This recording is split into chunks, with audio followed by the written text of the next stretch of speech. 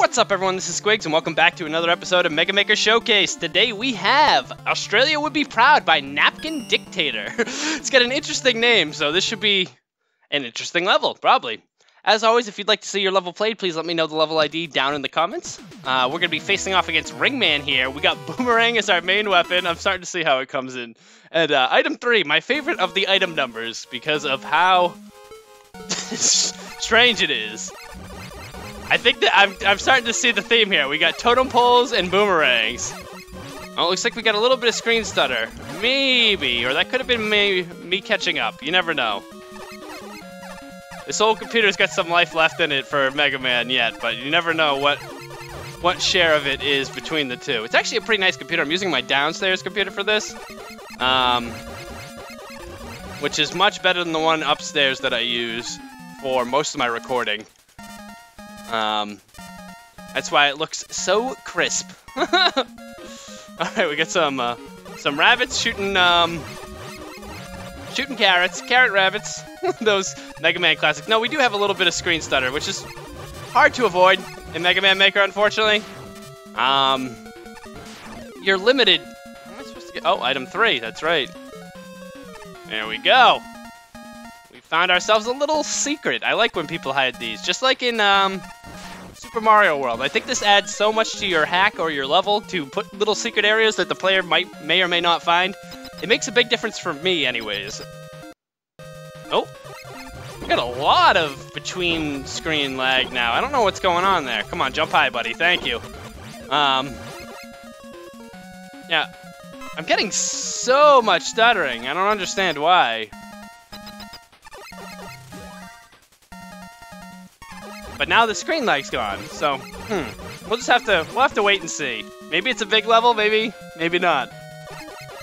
I've killed myself. Well, that's great. I missed a pretty simple jump.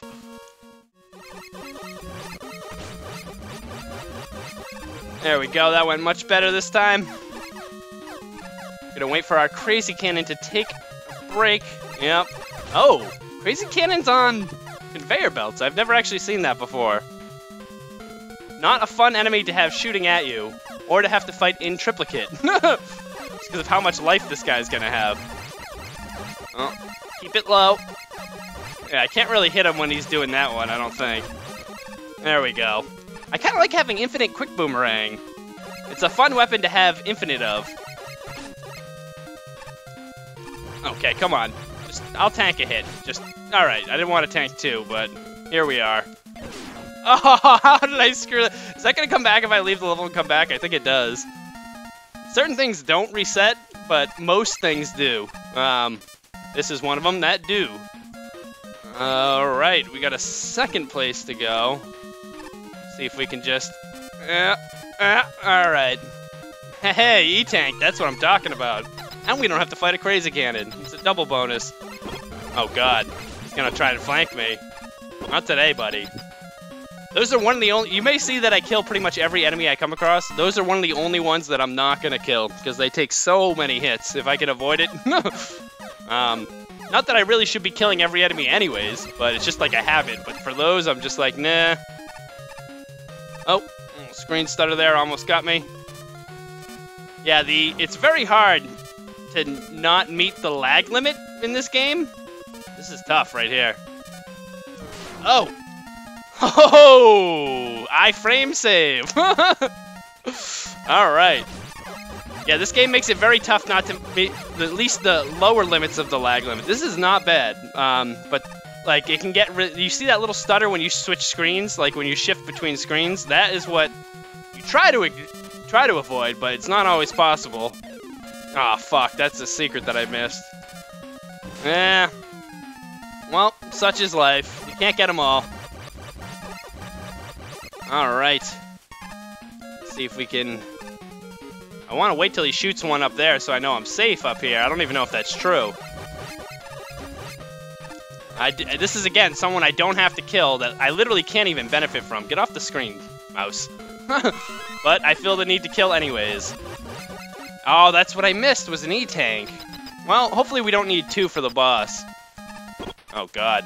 Yeah, you get into there, and I'll just go right by you. There we go. It's a stealth mission. oh, I'm getting a phone call on. Oh, ah, bad time for a phone call. All right, I'll just let that ring out because Mega Man is more important than your real life responsibilities. Oh God, I'm definitely gonna die. Okay, there we go. We should be able to get that on the next one. That was not that hard. Plus, we... I'm, I'm sorry that it's literally, like, playing in your ear. But, um, yeah. With the E-Tank, we really shouldn't have too much problem on this boss, I don't think. If we had a second one, it would be even less of a problem. Ringman is not one that I'm good at fighting, I'd say. As you can see that I've not dodged any of his attacks. I'm apparently bad. I think I gotta jump over once. No, that's not true. I guess I don't know how to fight Ringman at all. Um... But, you know, we'll get there, folks. Yeah, it's, okay, jump over once and then hug him so he can't get you on the way back, and then move away. I, I get it now, but, um... Either way, that was a fun level.